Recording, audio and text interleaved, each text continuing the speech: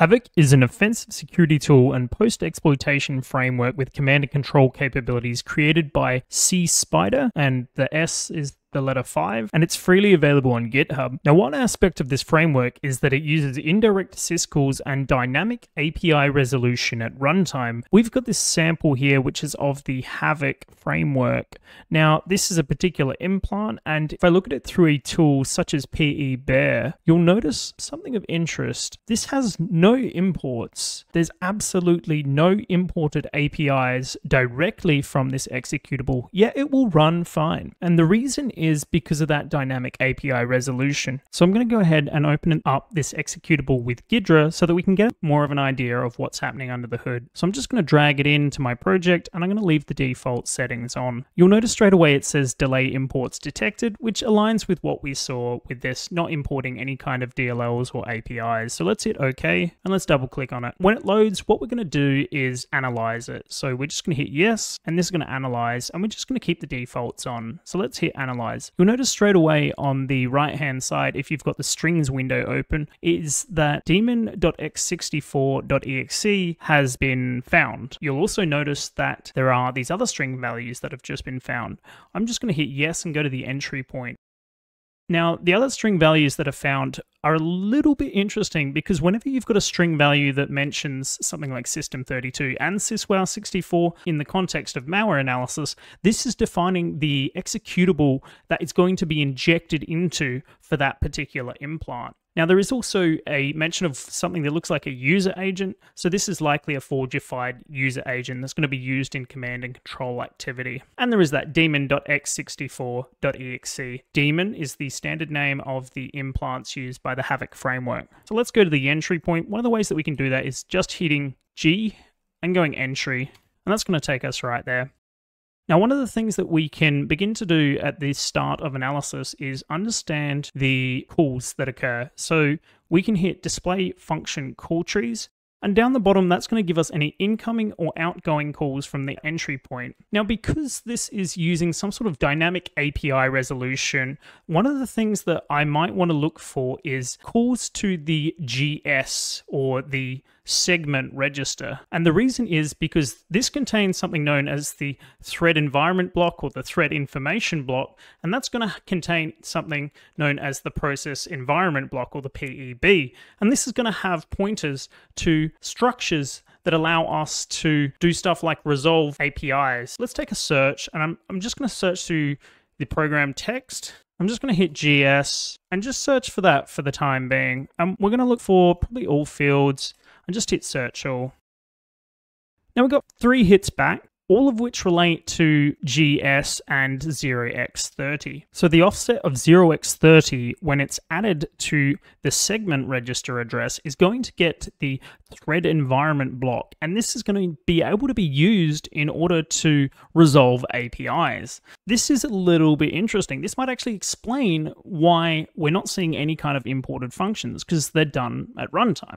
Let's follow along and straight away if you follow the first one you will notice some interesting values. 0x and then a string and this goes on almost like it's running in a loop and what it's actually doing is resolving the APIs that are necessary for the rest of this to function. And so if we look at the Havoc framework so I've just got it downloaded from GitHub here and we look at the payloads and we look at the demon and we look at the source we have the demon.c file. It gives you a good idea of the process that needs to be taken here. So it needs to initialize the pointer, the modules, and the Windows 32 API before it can do anything.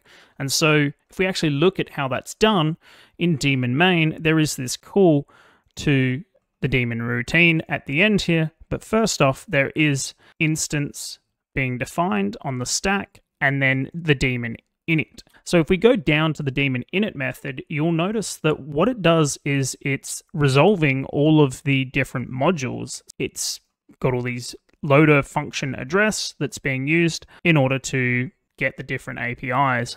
And because we know that this is actually related to the hashing algorithm and resolving those APIs, if we go down, this is actually going to run in order of exactly what we see in the code on GitHub. So the first hash is going to resolve to NTDLL, and then the next one is going to resolve to loader get procedure address, and then the next one is loader load DLL, and so on and so forth. Now, if we look carefully, you'll notice that on the left hand side, we actually have the raw assembly values, so that the hexadecimal that's being used to interpret this instruction. If we actually look at it backwards, so we have this 7E, E, uh, 70E6, 1753. We have 70E6 1753 backwards. And these constants can actually be used to build out Yara rules that's able to detect this C2 framework, or at least the hashes tied to API calls used by this particular framework. So this is actually quite useful, and this is actually something similar to what Embee Research has done. Definitely go and check out his stuff. I'll link it in the description below. But let's see how we can turn a, this information into a Yara rule that's then going to be able to detect more variants of the Havoc C2 framework loaders or demon executable. So I've started up a template here that can be used. And first off, we just have some comments. So this just gives a little bit of metadata, but we don't actually need this. We also have the actual metadata associated with the Yara rule. So in this particular case, I'm just going to give it a description.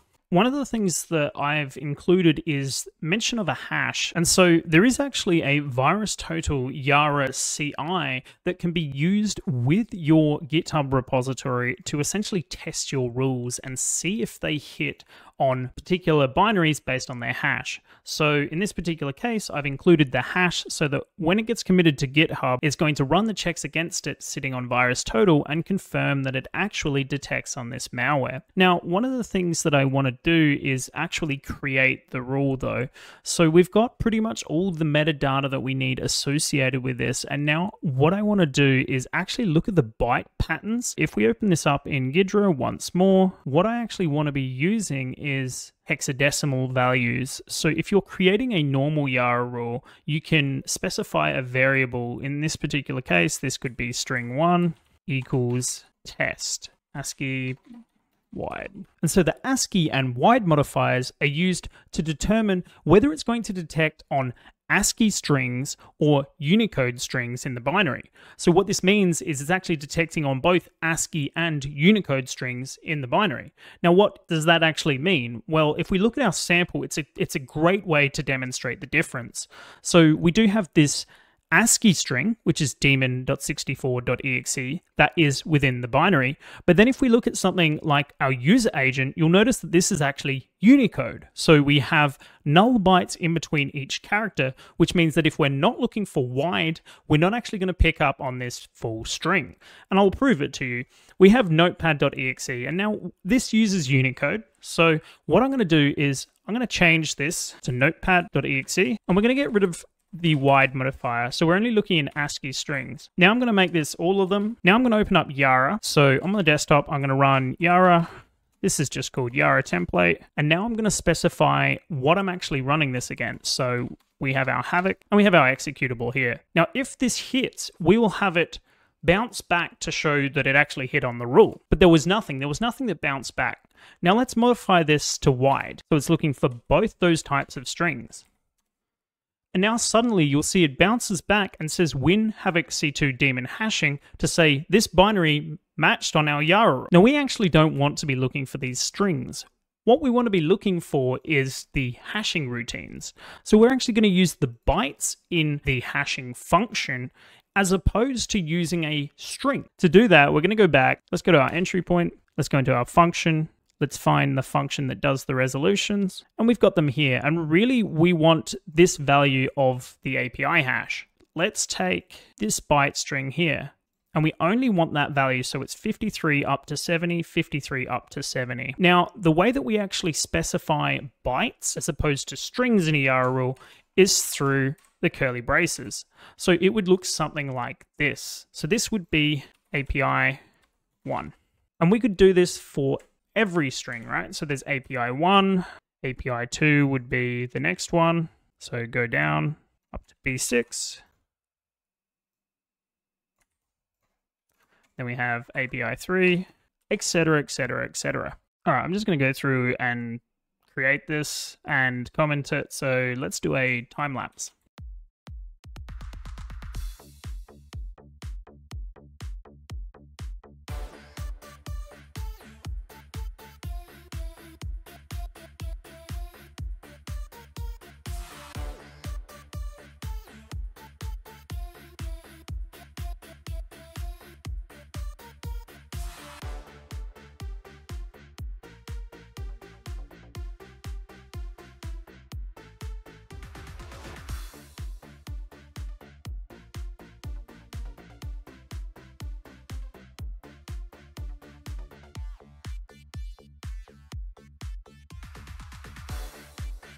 As I'm going through, I just realized that uh, there's that they resolve NT create event twice.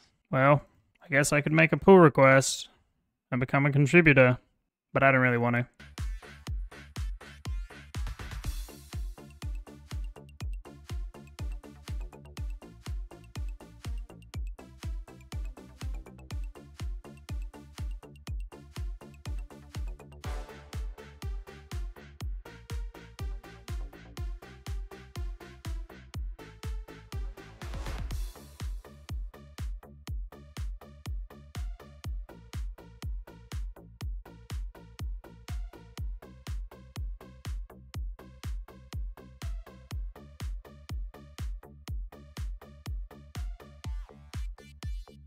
Worth noting that you probably don't need this amount, but it's always good to have, I guess.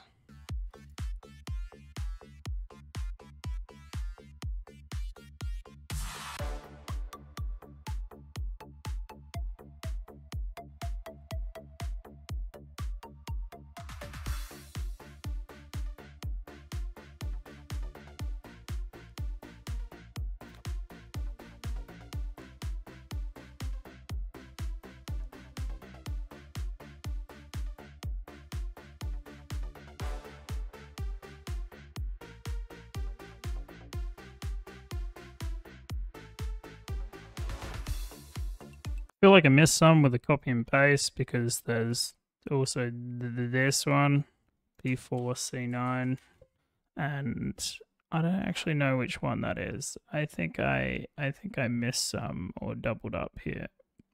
So they might actually be accurate with what they resolve to.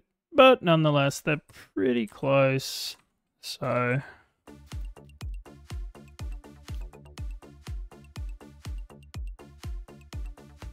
All right, so I feel like maybe I duplicated some of the byte patterns or doubled up or something because there are a couple left over, that one and that one, before we reach the end of all that routine, which I I didn't have a name for. So I might have might have messed up with some of this copy and paste. I mean, there's already an which one of these is doubled up? There Right there. That's a double up right there, which means everything needs to shift by one.